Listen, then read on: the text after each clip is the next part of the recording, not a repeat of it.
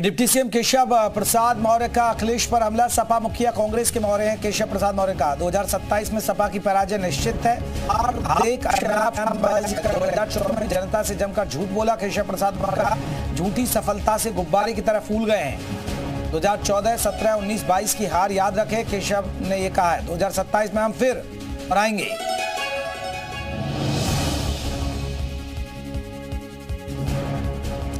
मयूर हमारे साथ हमारे सही और ज़्यादा अपडेट के साथ। मयूर लगातार जो लड़ाई होती है वो सोशल मीडिया पर वो खासकर डिप्टी सीएम केशव प्रसाद मौर्य और अखिलेश के बीच होती है।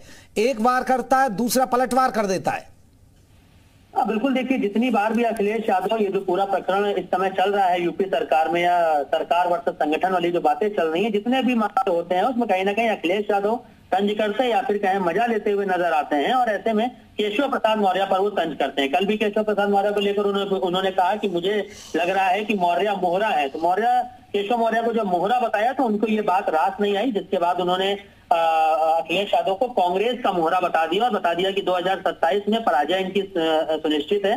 इसलिए ये लोग अनाप शनाप बयानबाजी कर रहे हैं।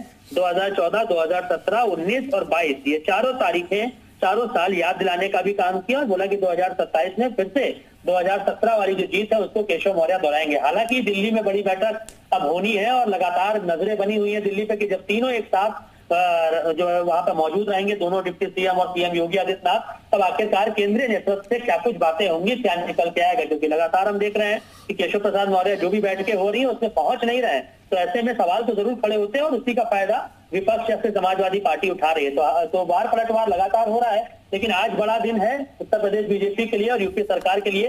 क्या कुछ बड़ी बातें निकल के आती है देखने वाली बात होगी। चलिए मयूर आप बने रहिए हम लौटेंगे आपके पास। अब आपको अखिलेश